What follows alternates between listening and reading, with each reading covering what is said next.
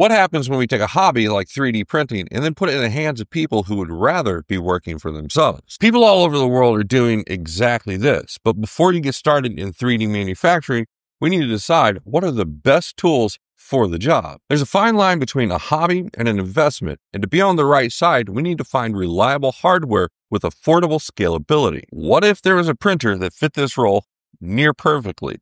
Let's take a look at the Adventure 5M series from FlashForge and see how it stacks up.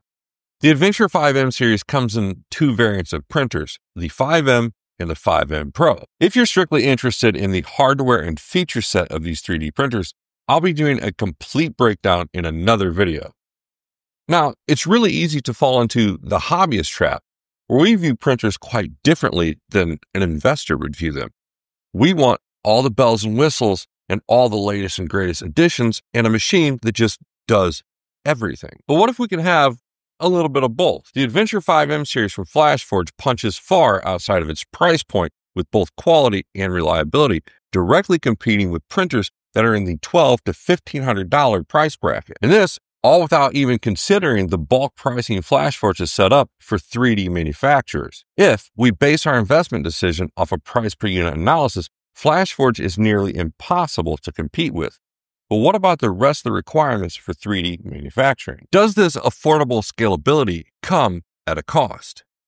First up, let's look at the quality of 3D prints we can expect if we decide to make an investment into FlashForge. Almost anybody who has ever used these machines would tell you that once again, FlashForge is punching far outside of its price point, with this quality directly competing with machines that are four to eight times more expensive. Even when using the default profiles and without any real tweaking, it's hard to complain about the quality that you achieve directly out of the box from FlashForge. So far, I've experienced near perfect print quality out of the box, but with a little bit of tweaking to the filament profile, things only get better. And everything I'm going to show you today has been done using zero tweaking and printed using the default profiles. And with everything we're seeing, it would be really hard for somebody to say that this quality doesn't directly compete with top brands and manufacturers. Almost anybody can win a race once, but can FlashForge do it reliably? Very few people have tortured and abused the AD5M series to the level of which I've abused it. And I could safely say that reliability isn't an issue when it comes to these printers. Even when I give these machines the worst that I can give them, they continue to deliver high quality products when most machines would have simply given up. At 6,000 hours of print time, this machine has been through the worst of the worst, and I have definitely abused it. And even today, with minimal maintenance, I'm experiencing the same print quality as the day it was unboxed.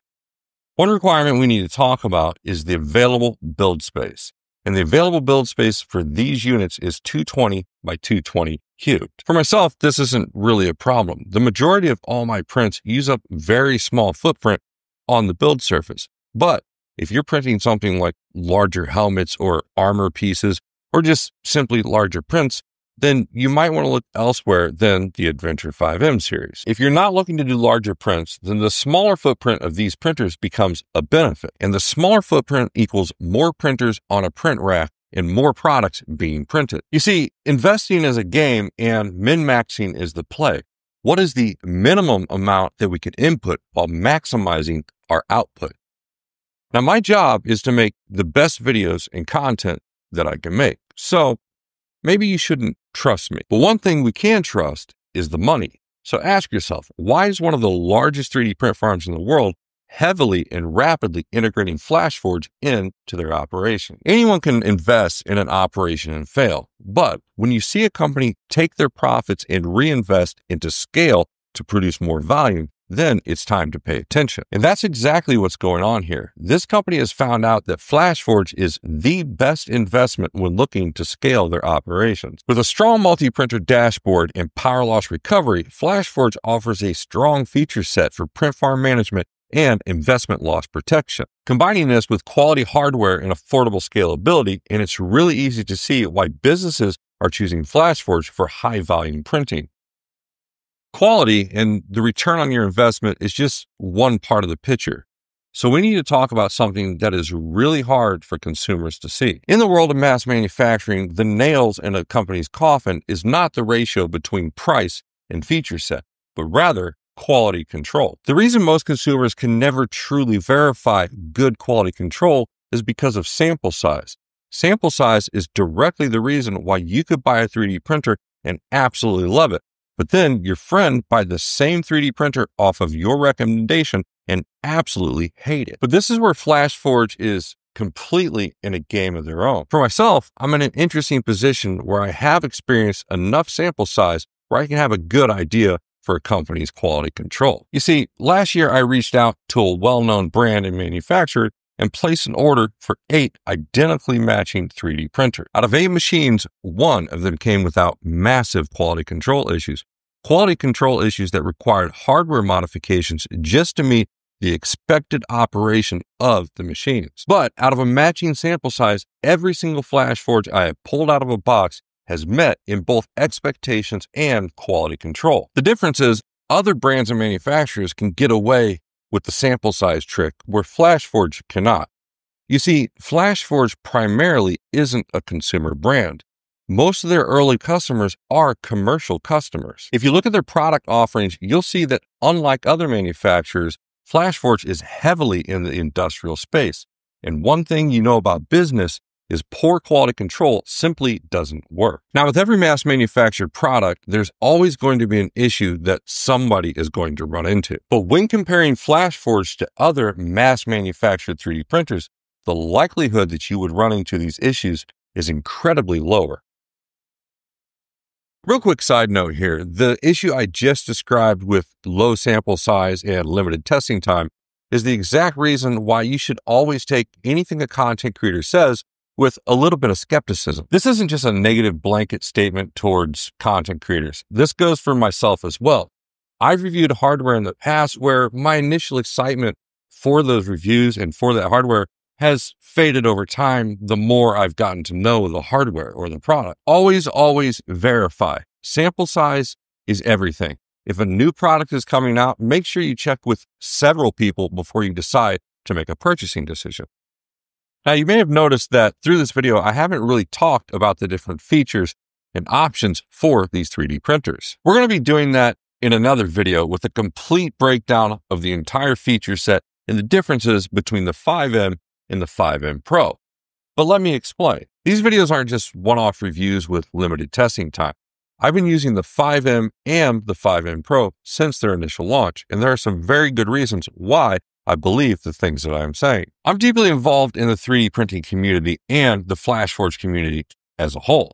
And I'm very aware of the way hobbyists view 3D printers versus the way investors view making an investment. Let me remind you that the majority of consumers are feature focused and they're focusing on the race for manufacturers and brands to adopt and add more features. And nobody can really blame you for wanting to chase a feature set.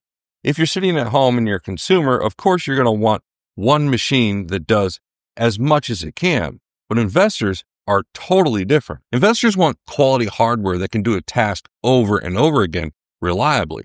They're not interested in chasing the feature set and the marketing campaigns of different brands and manufacturers. The world of consumers versus investors couldn't be more different. To the point, if one of these machines was to go down or require extensive maintenance, most investors would simply throw that machine away and purchase a new one because they know that time tinkering is time losing money. For those of us looking to make the step from consumer to investor, it's really important that we take the time to address our motivations and our strategies because there are some honest differences that simply don't translate from one to the other. Personally, for myself, the option couldn't be more clear, as the Adventure 5M series fits everything that I'm looking for. When placed in a print farm environment, it's really hard to argue with FlashForge's approach towards the design and execution of these 3D printers. Not only am I a fan of its simplified design and ease of use, but I'm a huge fan of the tighter, smaller footprint.